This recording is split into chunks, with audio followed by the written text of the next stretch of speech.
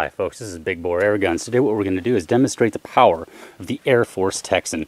This one's a 45 cal Air Force Texan. It's delivering really close to around 500 foot-pounds of energy with the heaviest slugs that it can throw.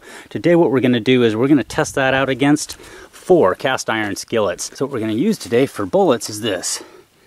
We've got three different rounds we're going to test out. We've got a 144 grain round ball right here, a 220 grain conical, and a 340 grain conical.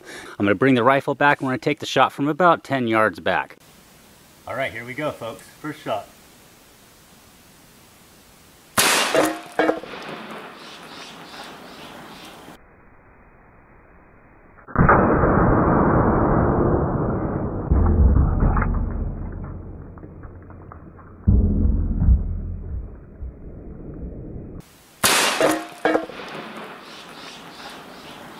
Be the 220 grain slug.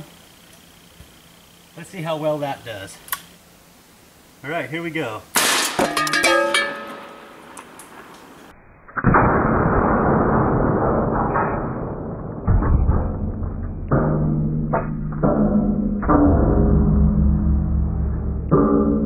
Here we go.